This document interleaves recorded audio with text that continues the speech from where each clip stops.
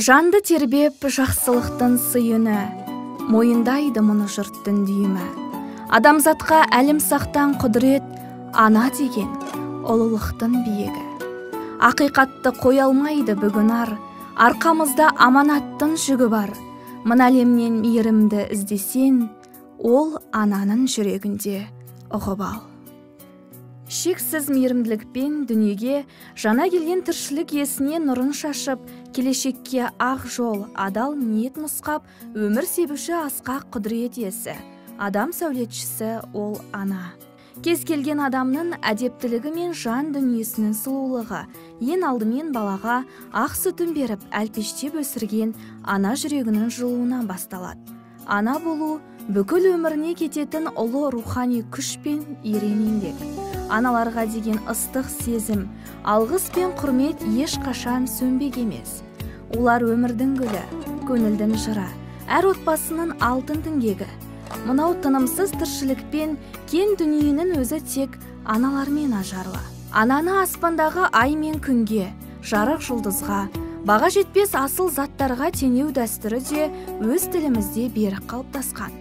Жауһар сөздің мәйегін тере білген ақындар қауымының алғашқы өлең жолдары да аяулы аналарымызға арналып жататындығы да соның дәлелі. Бүгінгі бағдарламамыздың кейіпкері көпке белгілі ақын журналист мұзарт тобының орындауындағы махаббат гүлі солмайды. Не деген көркем едің достарым кел жаным сынды ел арасында кең тараған ән мәтіндерінің авторы талант арғынғалидің анасы гүлбаршын арғынғалиева. Гүлбаршын анамыз анаңды қалай сыйласаң өз баланың анасын да солай сыйла барлық әйел затына тіпті жас бүлдіршін қыздарға дейін құрмет көрсет. Оларға қолдан келгенше қамқорлық жаса деп барлық азаматтар қауымына ақыл кеңесін айтты. Ақын қолына алғаш қауырсын қалам алып ақ парақ бетіне ана деп жазылған сәттен бастап ғұмырының дара жолы қалыптасады. Жүрегімен шыр өрнектеп айтыс әлемінің биігінен көрініп журналистикада өз жолын қалыптастырған таланттай талантты азаматты дүниеге әкелген ананың сырлы сұхбатын бірге тамашалайық. Армысыздар қымбатты домбыра ұлттық арнасының көрермендері. Бүгінгі студиямыздың қонағы талант арынғали сияқты талантты ұлды дүниеге әкелген гүлбаршын ханым. Гүлбаршын ханым хабарымызға қош келдіңіз. Таланттың енді халықаралық ақындар айтысының жүлдегері қазақ радиосының журналисі. Қазіргі кезде ол енді жұртқа халқымызға қазақ еліне танымал азаматтардың бірі. Таланттың өскен ортасы отбасы жайлы әңгімелеп берсеңіз. Қарапайым шаруада болдық әкесі тракторист мен үй шаруашылығындағы ана болдым. Енді баланың үлкені мектеп жасында жүргенде сол өнерге өзі сондай домбыраға әуес болып жаңа өтірік өлеңдер шығарып кішкентайынан өзі сабақта да жақсы болды. Шөптігіл совхозының ауылдық мектебінде оқыды ол. Соны бітіргеннен кейін тоғыз бітірген кейін орал қаласына сәкен сейфуллин атындағы он бірінші мектепке лицейға барды. Сол лицейде оқып жүріп өзінің сол тіл мамандығын бойынша дамытып оқып сосын содан білім алып көкшетау қаласына олимпиадаға қатысып содан екінші орын алып содан грантқа оқуға түсті казгуға. Сол енді казгуды мың бірде бітіріп соған осы жақта жұмыста қалды. Қазір қазақ радиосында жұмыста ғой енді. Үш баласы бар тәрбиелеп отқан жолдасы өзіміздің қаратөбенің қызы қарапайым шаруа ата анасы олардың жұмыс жасаған әкесі шопыр болған мамасы жаңағы неде мұғалім негізгі бірақ осы салада емес басқа салада жасаған. Олар да сол бір үйден үш қыз бір ұл тәрбиеленген. Барлығы да осы оқыған. Менің келінім енді оралда колледж бітіріп ағылшыннан. Содан осы тұрмысқа шығып келгеннен кейін оны тереңдетіп ағылшын мамандығының иесі негізі бірақ жұмыс жасамайды. Әлгі ақынның жолдасы өнерінің жолдасы үйде отыру керек. Ол бейуақытта келеді бейуақытта кетеді. Тамағы дайын болады киімін дайын қылу керек балаларына қарау керек деп сол жөнінде жұмысқа шығармай қалды. домбыраны ақындықты қанша жасынан жанына ә, бұл ең бірінші мектепте жүргенде айтты да ең бірінші әнші балапан деген болды ол уақытта. Он үш жасында сол. Он үшке жетер жетпес. Әнші балапанға қатысты бірінші. Домбырамен сосын ауылдық жерде ақындар балалар жасөспірім балалар арасында ақындар айтысы болып соған қатысты енді мектепте тәрбиелейді ғой қазақ әдебиеті мұғалімдері нелері сол бойынша соған қатысып жүрді. Содан кейін оралға келген соң енді сол жүлделерге деп. Осы мына жібек бұлтановалармен айтыстырып осы жолды таңдауына сіздер ықпал жасадыңыздар ма? жоқ өзінің таңдауы ма өзінің қалауымен таңдады осы. Қазақ әдебиетін қазақ несін жақсы меңгеріп жүрді. Үйде балалық кезінде аузынан өлеңдерін айтып бейім болды өнерге. Сол кезде өзінің несімен болар енді алла тағала берген бір бағы болар. Ол кезде біздерді әкелген жоқпыз ол өзі де келді осы жаққа. Ана бауыржан қалиолламен еріп оқып бітіріп шықты. Біздер амансың ба амансың? Ол уақытта телефон да жоқ. Коммутатордан сөйлесеміз переговор беріп қояды. Берген күні келмей қалады. Сосын сөйлесе алмаймыз. Ойпырмай енді кімнен хабар аламыз деп жүріп әйтеуір бір күн сөйлесеміз. Ол уақытта хат қой жазатындары алғашқы ә, экранға шыққан алғашқы телевидениеға шыққан күндері есіңізде ме? Қандай хабарларға шығып еді? Енді радиода көп болған жоқ. Көршілерде радио болады. Түннің бір уақытында шауып келеді балаң деген өлең айтып жатыр балаң деген айтысып жатыр деп. Мен енді сіз қандай әсерде боласыз? Иә менің балам ақын болып жатыр менің балам бәлем болып жатыр деп ол мақтанған анам емес. Шынымды айтайын. Жақсы аман болсын тірі болсын жүре, берсін дедім ақындар айтыс өткенде барып жүрді сосы. Ескендір ағалар барғанда барды тоқсан жылдығы болды мұхиттың несінде сондайларға қатысып барып жүрді.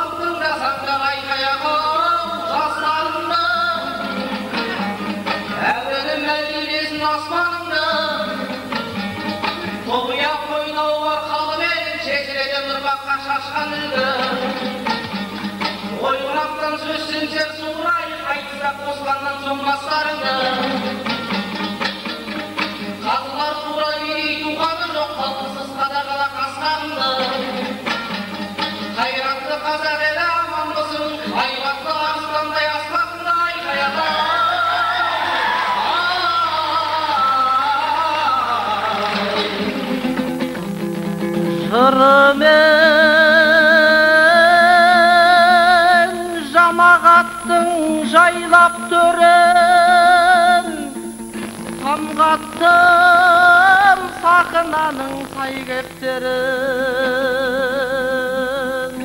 басынан дәуірлердің озған айтыс танытар ақын деген қайраткерін. Жақсылар жиылғанда баға берер. Бақсынар алуан жүйрік айбаттерің жалпы сіздердің отбасында енді сіздер ауылдан ұлдың арқасында алатаудың етегіне қасиетті алматыға қоныс теуіп жатыр екенсіздер.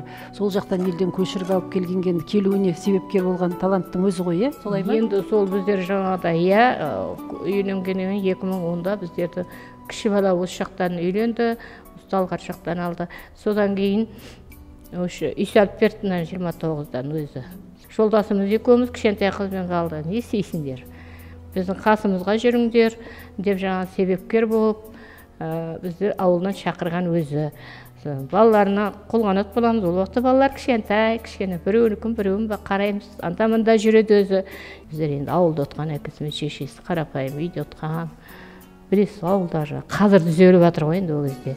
Тоқсан жетілерде қандай қиындықтар болды сол уақытта бұл студент болып жүрді сол екі мың бірде мұнда оқуға келді. Қандай біздер не жоқ. Өзінің табысын өзі тауып өз тірлігін өзі көріп ауысқанын бізге беріп солай өзімен өзі ет тірлігімен өскен бала. Жаңа ауылда қиыншылықтар деп айт- айтып жатырсыз. Бүткіл қазақ халқының басына түскен кезең болды иә қоғам өзгерді мемлекет өзгерді сондай кезеңдерді барлық қазақ халқы басынан өткерді. Сол кезеңнің қиыншылықтарын өзінің мойнына алып иә түсінді. Өйткені ата анадан ата ананың өзінің де жағдайы осындай ол болып жатқаннан кейін сол бір отбасының ба- бар ауыртпашылығын өзінің мойнына алып ә, осындай азамат ретінде ә, сіздерді осындай дәрежеге жеткізді деп айтуға болады. Иә ризасыз ғой оған ризамын балама қазір алла тек берген балалардың қызығын көріп өнері өсе берсін деймін тек аман болса екен деп тілейміз. Балаңыздың атын талант деп қойыпсыз. Бұл талантты болсын деп қойдыңыз ба? Жоқ ә, атын талант деп қойған біздің достарымыз бүкіл үйленген біздер ғана болдық. Жаңағы солар құрдастарымыз достарымыз талант деп қоямыз деп өздері қойып енді өзіңіз қандай отбасына ә, келін болдыңыз? А, жолдасым бес балалы. Мамасы ертерек қайтыс болған. Ә, папасы болды. Мен келгеннен кейін бір алты айдан кейін қайтыс болды. Бұл баланы көрген жоқ немересін. Ол кісінің үлкен ол шешесі болды сексен үстіне шыққан. Ол кісі көрді алты ай. Әндетіп жаңағы баласы дүниеден өтіп кеткеннен кейін әндетіп бесікке салып қойған баланы тербетіп жоқтау айтып отыратын еді. Бес баламен қалған солардың бәріне шеше де болдым жеңге де болдым үй болдым бәрін бір бір отау болып бір бір үй болып кетті қазір. Балам көп ортаның көп ағайынды балдардың ортасында өсті. Балаңыз көпшіл ма қазір? көпшіл сода сол ағалары жаңағы бәрі менің қолымда болды ғой. Алды сегіз оқиды мен келгенде алты оқиды бес оқиды бірінші ең кішкентай қайнымды өзім мектепке апардым алты жасымда солардың ортасында көптікте өскен балам содан соның да зардабы болар мына көпшіл көптікке бейім өзі үйіріп алады жақсы халықты тек өзіне қарап жаңа сіз айтып жатырсыз көп балалы отбасына келдім әкесі шешелері қайтыс болып кеткен қыздарына ана болдым ұлдарына ана болдым соларды тәрбиеледім өсірдім үй жасадым деп. Бір жағынан алғанда келіндік парызыңызды өтегеніңіз иә атаңыздың енеңіздің алдында. Енді өзің сүйіп қосылғаннан кейін сенің енді анаң жоқ әкең мынандай көп балалы деп енді тастап кете алмайсың ғой ортаға барғасын. Солардың ысысына қызығына бірдей көнесің енді суығына да несіне де енді ол балаларды мен қайда жіберемін мен келгеннен кейін оны әлгі ағайын тумаларында болды. Бұл балалар енді папасы дүниеден өтті мамасы былтыр кетіп қалды бір жыл бұрын кетіп қалған деп балалар үйіне тапсырайық деген болды әңгімелер. Бірақ енді мен оған рұқсат бермедік жолдасым. Не көрсе де өзімізбен бірдей өседі балалар ортада. Балалар үйіне барғанда әркім әр жаққа кетіп қалады. Бір бірімен жаңа балалардың бауырмалдық ағайын туып бірге туғандарын біледі де бірақ ол ана группада мына группа болып кетеді ғой. Сондықтан не болса да өзіміздің қолымызда болсын деп біздер рұқсат бермедік. Соны қайткенде де әйтеуір жетілдіріп оқуларын оқытып техникум училищелерін оқытып жақсы бәрінде өсіріп қазір бәрі де мені әлі айтады біздің анамыз деп ақмамамыз анамыз деп бәрі айтады оларына рахмет алла сыйласын. Қазір семья отбасыларының амандығын тілеймін бәрі бала шағалы қазір жақсы балалары білімді өнер алып жатыр бәрі сіз енді сондай тәрбиелі отбасынан ә, тәрбие алған екенсіз. Өзіңіз көп балалы. Отбасынан шыққаннан кейін мына отбасына келіп шынында да аналық қамқорлығыңызды жасаған екенсіз. Әйтсе де бүгінгі күнде қазіргі кезде қамқор ана болатын жеңге неге азайып кетті? Қазіргі жастар енді ондайға төзбейді де ондай бермесін де енді оны алла деп. Өзіңіздің қыздарыңызға осы сіздің жолыңызды жақсы жолыңызды жалғастыруды тәрбиеледіңіз ба? Енді үлкен қандай тәрбие бердіңіз? тұрмыста ата енелері бар сол жақсы тәрбие беріп отыр. Келіндеріме айтып отырамын әңгімемді ағаларға апа болды мама болды жеңге шешсе олар айтпайды бәрі алдынан өтпейді. Ауылдағы келіндердің бәрі мамамды сыйлайды. Бәрі бүйтеді деп данша өзі айтып отырады. Бізді мамам бүйтетін еді сабаққа бүйтіп қадақ қояды деп әңгімелерін бәрін өзі айтып отырады балалар келіндеріне. Сабақ деген ойыма түсіп отыр. Қалай оқыды мектепте талант? Талант мектепте жақсы оқыды ол білімді жақсы алды. Сағат бірде тарап келсе мысалы тамағын ішіп алып екіден төртке дейін қозғалтпаймын сабақ оқыды. Ойнайды үйге көмектеседі. Кеште сосын бір сағат қайталайды сабағын. Талант өзі көп кітап оқитын әдеби кітаптарды көп оқыды. Қазір енді балаларды оқыта алмайсың ғой оқы оқы деп жатады ғой үйде немерелерге мамалары. Сабақ оқыңдар деп. Иә деп оқып отырады да ана жерден телефонды қарап отырады. Ол телефоннан қарайды ол жазады білім емес қой енді былай қарағанда. А қазір мұғалімдер балаға сөйлей алмайды. А бұрынғы кездегі балаларды мұғалімдер қалай ұстады? өздерінің айтқан жерде тәртіппенен қадағалап оқып тұрады бірдеңе болса ата анасын шақырып алады сірасы мұғалім ұрсып жатса да ұрып жатса да балаға үндемейміз. Ұстазға деген yeah. Иә. құрмет ерекше еді иә. Yeah, ерекше. Оның бір ұшы келіп тіреледі қазіргі кезде ата анаға да байланысты. Енді жақсы бала тәрбиелеу үшін қазірге жақсы немере тәрбиелеу үшін не істеу керек деп ойлайсыз енді енді мен өзім айтып отырамын үйде. Әкең апа ана тәтең былай оқыды. Балалар өздері айтады әже дейді ол баяғыдағы сіз айтпаңызшы ертек дейді. Шынында солай болып тұр ғой енді біздің кезіміздегі ертек болып тұр ғой оларға. Қазіргі заман дейтін біздің заманымыз басқаша. Немерелеріңізге ертек айтасыз ба? Тыңдай ма олар. Не ертек кішкентайында айтып жүрдім енді қазір ертек айтпайды. Кішкентай кезімде ана немереме кітаптағы алпа нелердің бәрін жаттатып оқуға бармай тұрып бәрі айтады ғой мә бәрін біледі мына немересі деп. Бері келе қойды ғой мен айттым ерте дайындағанда қиын болады екен ғой деп баланы жақсы оқиды немерелерім бірақ сабақты жақсы оқиды енді. Таланттың балдары да жақсы мектепте активный.